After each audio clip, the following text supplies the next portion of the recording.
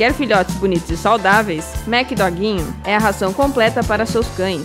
Rações Mac, alimentos completos para cães e gatos.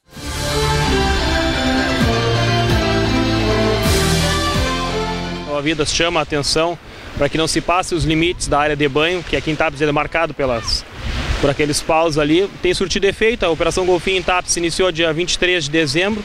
Até a presente data não registramos nenhum afogamento. Se encerra dia 15 de fevereiro a Operação Golfinho. Esperamos que até lá não temos a felicidade de resgatar ninguém na, na praia aqui. Principalmente crianças, que é a nossa maior preocupação. O índice de afogamento se registra de 0 a 9 anos, que as crianças. E imprudentes, geralmente o pessoal com ingerir, ingerir bebida alcoólica é o que dificulta a situação. Não temos esse tipo de problemas aqui em TAPS e esperamos que se encerre com felicidade a todos, final de ano, a Operação Golfinho no município de TAPS. E nem pequenas ocorrências, normalmente vocês só chamam a atenção, não, não tiveram que entrar na água ainda para tirar ninguém.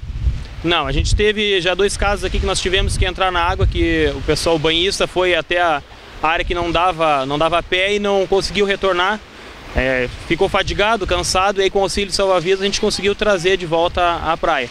Mas não passou disso aí, dentro das orientações a gente consegue resolver a maioria dos problemas.